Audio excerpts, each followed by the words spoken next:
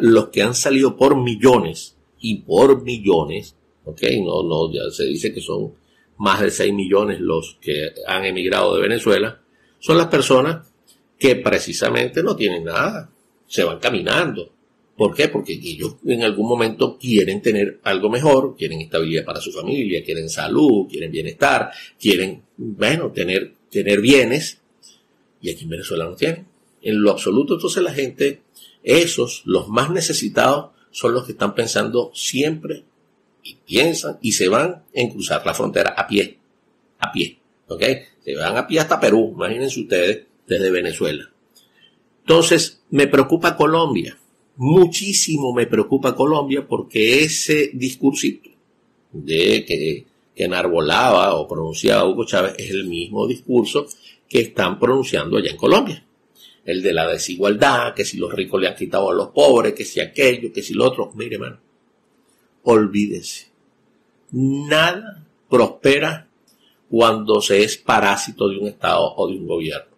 Aquí la gente prospera cuando lucha por su, por su bienestar, pero producto del trabajo. Producto del trabajo.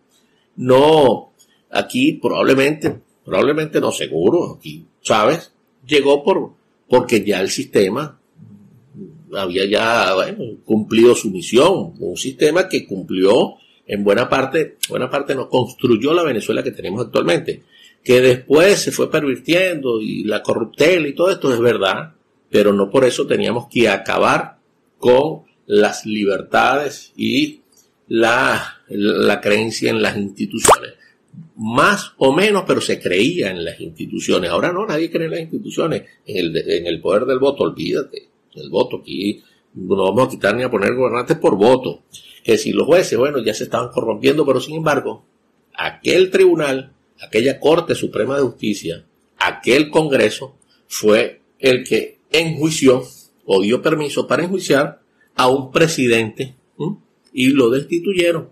Ustedes se imaginan actualmente en Cuba, en Nicaragua o en Venezuela la institución pueda dar permiso para enjuiciar a Díaz Canel o aquí o a Ortega en Nicaragua o aquí en Venezuela a Nicolás Maduro. Esa no existe. Esa no existe.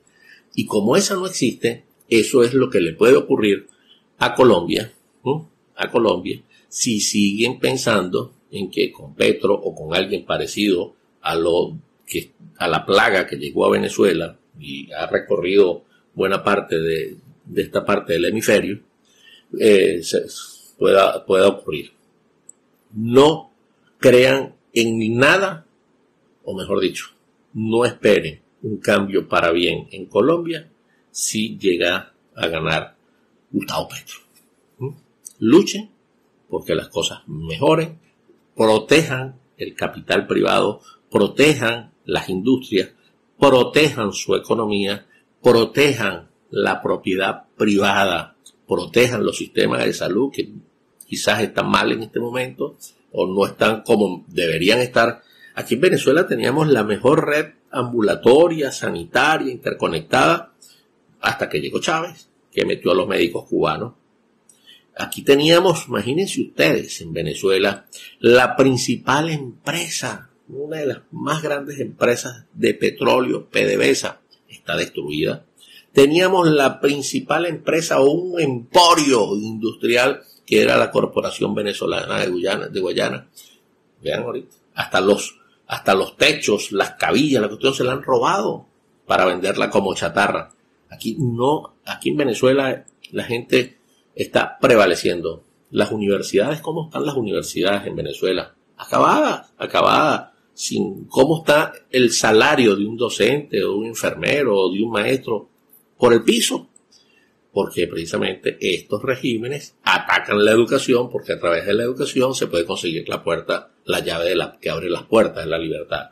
Amigos míos, quise transmitir esto hoy, martes 13, a propósito de José María Vargas, a propósito de lo que ocurrió o viene ocurriendo en Cuba y como un SOS, una alerta, una voz, un grito de cuidado con lo que pueda ocurrir en Colombia si Colombia cae, caramba, para recuperarla va a ser un poco más difícil la libertad en Venezuela. Apretado abrazo para todos ustedes, queridos amigos.